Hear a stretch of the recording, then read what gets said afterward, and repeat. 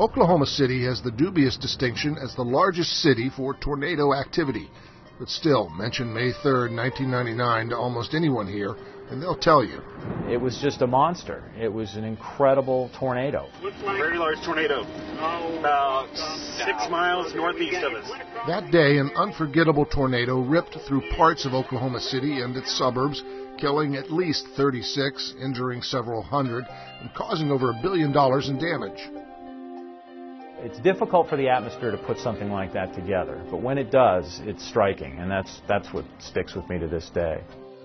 Greg knows about severe weather. He's a meteorologist at the Storm Prediction Center, located just south of Oklahoma City in Norman. The mission of the Storm Prediction Center is the protection of life and property by getting the word out in advance of hazardous weather events such as tornadoes and severe thunderstorms. Tornadoes occur in all 50 states, even in Alaska. Nationwide, they're reported year around, but in the springtime, the area known as Tornado Alley is ground zero. Tornadoes often strike with little or no warning. In the U.S., they kill about 70 people a year and injure close to 1,500.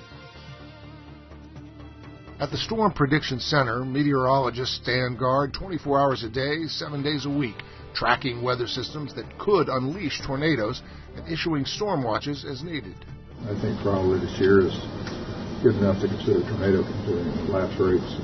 The ingredients that make up a tornado, like wind speed, temperature, and moisture content, all have to be just right for tornado formation you take away just a small bit of, of your ingredients and you end up with something that's uh, a rain shower as opposed to a, a, violent storm. And we don't understand necessarily the mixing and matching of these, these ingredients for all these variety of recipes to produce tornadoes. To better understand tornadoes, scientists like Yvette Richardson, with the help of the National Science Foundation, are embarking on a quest to unravel the mysteries of tornadoes. This will hopefully give us the knowledge we need to improve warnings, to maybe improve forecasts, to improve our, our general understanding of how something works, always arms us better.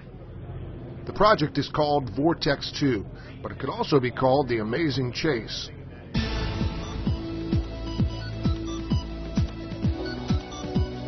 For five weeks in 2009 and again in 2010, 100 researchers and scientists from 16 universities will deploy about 40 vehicles armed with high-tech equipment.